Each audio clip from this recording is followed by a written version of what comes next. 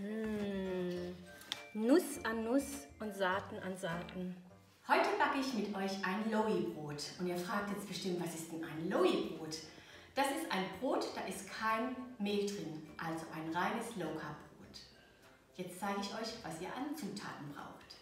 450 Milliliter Wasser, 1 Teelöffel Salz, 200 Gramm Haferflocken, 50 Gramm Leinsamen, 100 Gramm Sonnenblumenkerne, 60 Gramm Haselnüsse, 60 Gramm Mandeln, 6 Esslöffel Chiasamen, 2 Esslöffel Ahornsirup und 2 Teelöffel Pflanzenöl.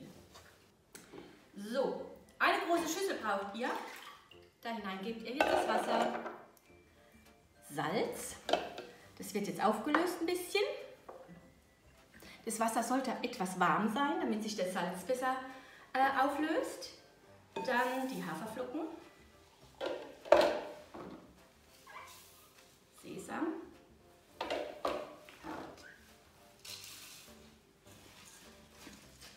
Sonnenblumenkerne.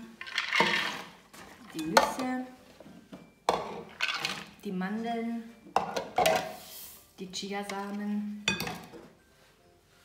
Ahornsirup und Öl. Alles wird jetzt gut miteinander vermischt.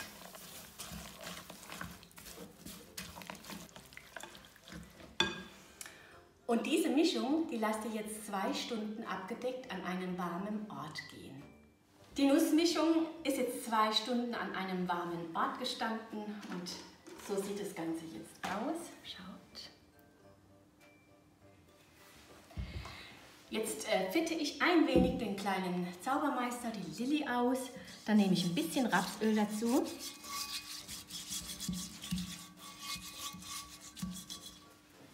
Dann kommt die Nussmischung da rein.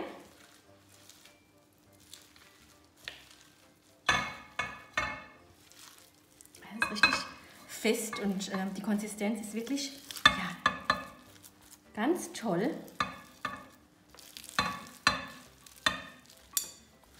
Drückt es auch immer wieder nach unten, dass da keine Luftlöcher dazwischen sind.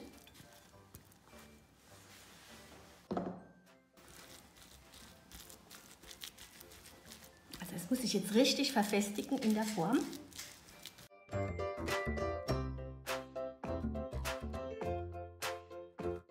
Nun legt ihr den Deckel auf. Mein Backofen ist auf 230 Grad Ober- und Unterhitze vorgeheizt. Der Rost ist ganz unten und da kommt es jetzt rein und wird für eine Stunde gebacken. Die Backzeit ist um. Der kleine Zaubermeister kommt aus dem Backofen. Uh, und es dampft. Und das ist jetzt ein etwas anderes Brot, ja? Ihr müsst euch vorstellen, das ist jetzt nur aus Nüssen und äh, da ist kein Backpulver und keine Hefe drin, kein Mehl. Und dann sieht es natürlich auch etwas anders aus wie diese Brote, die ihr sonst von mir gewöhnt seid. Aber das ist ein ganz kerniges, tolles Brot geworden.